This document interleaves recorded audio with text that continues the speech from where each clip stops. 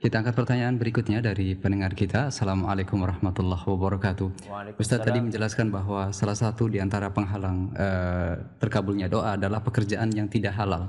Yang ingin saya tanyakan ya Ustaz, saya memiliki teman yang memiliki pekerjaan yang tidak halal, yakni menggambar makhluk-makhluk hidup eh, yang bernyawa.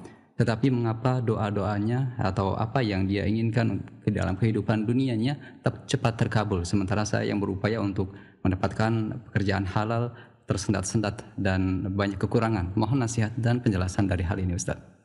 Andaikan ya ada seseorang yang pekerjaannya tidak halal. Kok dia ini doanya dikabulkan sama Allah?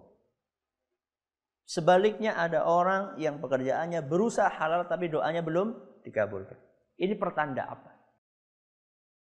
Itu pertanda bahwa orang yang tadi pekerjaannya tidak halal sedang mengalami sesuatu yang namanya istidraj. Apa namanya?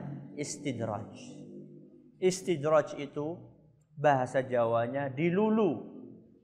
Dilulu itu diulur. Diundur siksaannya oleh Allah Subhanahu wa taala. Ditangguhkan. Ya, Dikasih sama Allah apa yang dia minta, tapi nanti di akhirat jangan harap orang ini akan mendapatkan kenikmatan dari Allah Azza wa. Rasulullah SAW menyebutkan, "Idza ra'aita rajula" Andaikan engkau melihat seseorang yang dia ini tenggelam dalam maksiat, akan tetapi doa-doanya dikabulkan sama Allah Subhanahu wa taala, fa'alam annahu istidraj. Maka ketahuilah bahwa itu kondisi dinamakan dengan istidraj.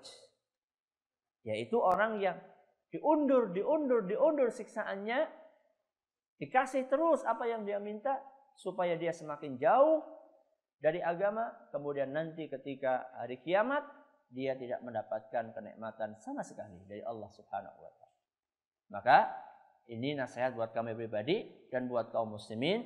Jangan terlalu silau. Bahasa Jawanya aja gumunan. Ya, dengan orang-orang yang nggak sholat, nggak ini kok rezekinya apa? Lancar-lancar saja. Nggak usah kita heran. Ya, itu namanya istidraj. Wallahu a'lam